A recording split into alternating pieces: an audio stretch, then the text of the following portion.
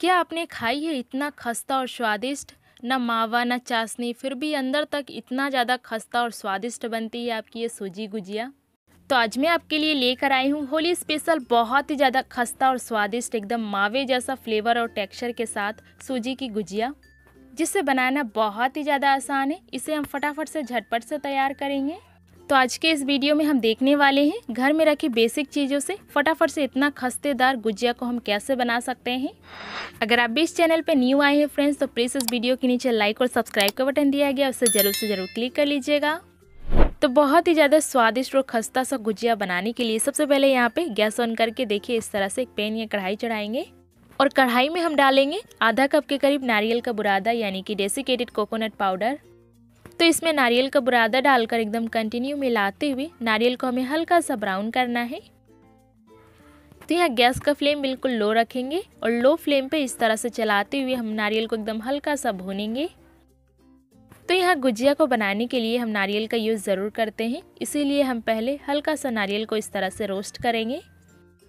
अगर आप चाहें तो फ्रेश घिसा हुआ नारियल का भी यूज़ कर सकते हैं इसमें। तो हमें इस तरह से लगातार चलाते हुए दो से तीन मिनट के अंदर इसे आसानी से भून लेना है। तो यहाँ लो फ्लेम पे एकदम इस तरह से चलाते हुए नारियल को हमें हल्का सा भून लेना है। तो ये देखिए फ्रेंड्स, नारियल को चलाते हुए मैंने हल्का सा भून लिए हैं। और आप देख सकते हैं, हमारा जो नारियल है वो हल्का सा ब्राउन हो गया है। तब यहाँ पे हम गैस को ऑफ़ कर देंगे। और इसे हम किसी अलग प्लेट में निकाल लेते हैं। तो ये देखिए, नारियल को मैंने किसी अलग सा प्लेट में निकाल लिया है इस तरह से। तब इसे हम कुछ देर साइड में रखते हैं। तब यहाँ पे सेम हम वही कढ़ाई चढ़ाएँगे। तब इसमें हम ऐड करेंगे एक से दो चम्मच के करीब घी। जब आपका घी एकदम अच्छे से मेल्ट हो जाए, तब इसमें हम ऐड करेंगे एक कप के करीब बारीक वाली सूजी। सूजी आप कोई भी ले सकते हैं। तो कढ़ाई में हम सूजी को भी डालकर एकदम बढ़िया से लगातार चलाते हुए भूनेंगे। अगर वज़न से देखें तो मैंने यहाँ पे सौ ग्राम के करीब सूजी लिया है। तो इसे भी हम लो टू मीडियम फ्लेम पे सूजी को एकदम बढ़िया से चलाते हुए भूनेंगे। जब तक ये अच्छे से हल्का ब्राउन ना हो जाए, तब तक हमें इसे चलाते हुए भूनना है। अगर आप इसे हाई फ्लेम पे फ्राई करेंगे तो जो आपकी सूजी है वो ज़्यादा जल जाएगी और एकदम मावे जैसा फ्लेवर इसमें बिल्कुल भी नहीं आ पाएगी। तो इसे हम मध्यम आँच में कंटिन्यू चलाते हुए इस तरह से भूनेंगे। तो ये देखिए, सूजी का कलर चेंज होने लगा है। यहाँ पे सूजी को हम थोड़ी देर के लिए और भून लेंगे, जिससे कि हमारा जो सूजी है और ब्राउन हो जाए। तो ये देखिए, सूजी को मैंने एकदम बढ़िया से भून लिया है। और आप देख सकते हैं, सूजी हमारा हल्का सा ब्राउन हो गया है। तो सूजी में हम यहाँ पे थोड़ा सा इस तरह से पानी डाल देते हैं और इसे हम हल्का सा चलाते हुए मिला लेंगे। तो सूजी में हम थोड़ा सा आधा कप के करीब इसमें पानी डाल देंगे और इसे चलाते हुए बढ़िया से भुनेंगे। तो आप देखेंगे सूजी आपकी बहुत ही जल्दी भुन जाती है।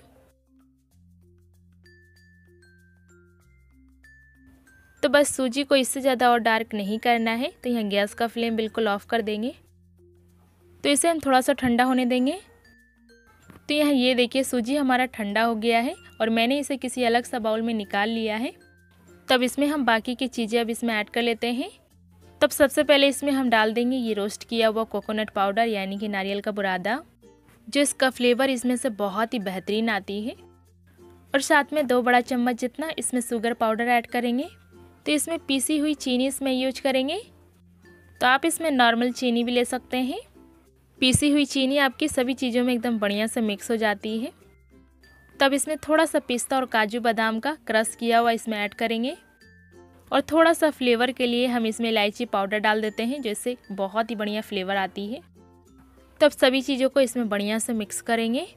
अगर आप चाहे तो इसमें किशमिश वगैरह ऐड कर सकते हैं।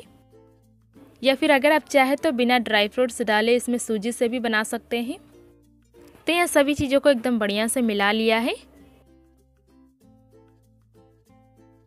तो हमारी गुजिया के लिए स्टफिंग बिल्कुल रेडी है। तो यहाँ पे गुजिया को बनाने के लिए डो बनाकर बिल्कुल रेडी कर लेते हैं। तो उसके लिए मैंने यहाँ पे दो कप इस तरह से मैदा लिए हैं। अगर वज़न से देखें तो मैंने यहाँ पे डेढ़ सौ ग्राम के करीब इस तरह से मैदा लिए हैं। तो ये गुजिया को थोड़ा सा खस्ता और क्रिस्पी सा बनाने के लिए हम इसमें डाल देंगे एक बड़ा चम्मच जितना देसी घी। मोयम के लिए जो आपकी गुजिया अंदर से बहुत ही ज़्यादा खस्ता और डिलीशियस बने। तब हाथों से बढ़िया से रफ करते हुए इसे हम इस तरह से बढ़िया से मिलाएँगे। ताकि हमारे मैदे के एक कन में घी जो है एकदम बढ़िया से मिक्स हो जाए। तो लगभग यहाँ पे हमें दो मिनट तक इसी तरह से लगातार मिलाना है, जिससे कि गुजिया हमारा बहुत ही ज़्यादा अंदर से खस्ता बनती है। तो गुजिया को खस्ता बनाने के लिए इसे अच्छे से मिक्स करना बहुत ही ज़रूरी है। तो ये देखिए, जब मैदा इस तरह से बन रहा है, यानी कि आटा हमारा पूरी तरह से घी एकदम अच्छे से मिक्स हो चुकी है। तो अब इसमें हम थोड़ा थोड़ा करके इसमें पानी डालकर एकदम मीडियम सा सख्त आटा लगाकर हम इसे तैयार करेंगे। तो यहाँ पे ध्यान रहे, आटे को हमें नरम नहीं गूंथना है तो यहाँ पे थोड़ा सा हार्ड डो लगाएँगे। तो ये देखिए आटे को इस तरह से मसलते हुए हमने चिकना कर लिया है। तो ये देखिए इस तरह से थोड़ा सा स्मूथ और थोड़ा सा हार्ड डो इस तरह से हमें तैयार करना है। तब यहाँ पे हम आटे को 10 से 15 मिनट के लिए ढक कर रख देंगे इस तरह से, जिससे कि हमारा जो आटा है अच्छे से फूल कर सॉफ्ट हो जाएगा। तो ये देखिए, पंद्रह मिनट बाद हमारा जो आटा है अच्छे से फूल कर सॉफ्ट हो गया है। तो इसे हम एक बार और इस तरह से मसलते हुए चिकना कर लेंगे। तब इसके हम दो से तीन छोटे छोटे लोई बनाकर तैयार कर लेंगे, जितने की हम पूड़ी बनाते हैं। तो इसे हम हथेलियों पर रखकर स्मूथ सा लोई इस तरह से हम बनाकर तैयार करेंगे। तब इसके हम छोटी छोटी पूड़ी की तरह लोई को हम बेल लेंगे। तो यहाँ लोई को बेलने के लिए सूखा आटा या फिर ऑयल का भी इस्तेमाल कर सकते हैं। तो ये देखिए पूड़ी की तरह मैंने बेल लिया है। तो इसकी थिकनेस ना ज़्यादा बड़ा, ना ज़्यादा छोटा रखना है। एकदम पूड़ी की तरह इस तरह से छोटा छोटा बेलना है। तो यहाँ पे हम एक गुजिया को बनाने के लिए साँचा लेंगे। और इसके ऊपर हम इस तरह से पूड़ी रखेंगे। तब इसमें हम एक से दो चम्मच के करीब स्टफिंग भरेंगे, जो हमने पहले से बना कर रखी है। गुजिया की साँचा आपको किसी भी स्टोर में आसानी से मिल जाएगी। तो इसे हम अच्छे से प्रेस कर देंगे ताकि इसकी जो सेब है, आसानी से बन जाए। और ये देखिए, एक गुजिया कितना सुंदर और बढ़िया से बनी है। तो एक गुजिया को मैं अपने हाथों से बनाकर दिखाती हूँ। तो सबसे पहले हम पूड़ी की तरह एकदम बढ़िया से बेल लीजिए। तो बहुत ही ईजी सा प्रोसेस लगता है गुजिया को बनाना। तब पूड़ी के ऊपर एक से दो चम्मच जितना इसमें स्टफिंग भरेंगे। आप अपने हिसाब से जितने चाहे उतने रख सकते हैं। तो एकदम बढ़िया से प्रेस करते हुए बंद करेंगे, ताकि ये बिल्कुल भी खुले नहीं। तब इसके किनारे को पूरा दबा दबा कर बंद करना है, नहीं तो ऑयल में जाकर खोल सकती है। तब इसके हम फोल्ड करते हुए इस तरह से हम घुमाते जाएँगे। बहुत ही आसानी से हो जाता है इसे बनाना। तो ये देखिए, बना है ना बिना सांचे के गुजिया। देख सकते हैं इसे बनाना कितना आसान है। तो ये लीजिए, सारे गुजिया के स्टफिंग मैंने बढ़िया से भरकर तैयार कर लिए हैं। तो इस होली के खास अवसर पर आसान सी रेसिपी को फटाफट से ज़रूर बनाइए। तो सूजी गुजिया को आप बहुत ही आसानी से घर में बना सकते हैं। तब यहाँ गुजिया को हम ऑयल में डालते जाएँगे। तो यहाँ पे ध्यान रहे फ्रेंड्स गुजिया को डालते टाइम ऑयल आपका ज़्यादा गर्म नहीं होना चाहिए। ऑयल का टेम्परेचर एकदम लो रहना चाहिए। तभी आपकी जो गुजिया है अंदर तक एकदम खस्ता और क्रिस्पी दार बनेगी। तो यहाँ पे फ्लेम को बिल्कुल लो रखेंगे। अगर आप अपनी गुजिया को हाई फ्लेम या मीडियम फ्लेम पे फ्राई करेंगे तो जो आपकी गुजिया है ऊपर ऊपर से बबल्स ही आ जाएगी और गुजिया आपकी खस्ता नहीं बन पाएगी। और इससे आपकी गुजिया देखने में भी बढ़िया नहीं लगती है। जब हमारी गुजिया एक साइड सीख जाए, तब इसके साइड को हम इस तरह से चेंज कर देंगे। तो गुजिया को आप एकदम लो फ्लेम पे एकदम बढ़िया से फ्राई कीजिए। तो यहाँ गुजिया को हमें हल्का सा बादामी कलर आ जाए, तब तक हमें इसे फ्राई करना है। तब इसे हम अलट पलट करके गुजिया को इस तरह से हम फ्राई करेंगे।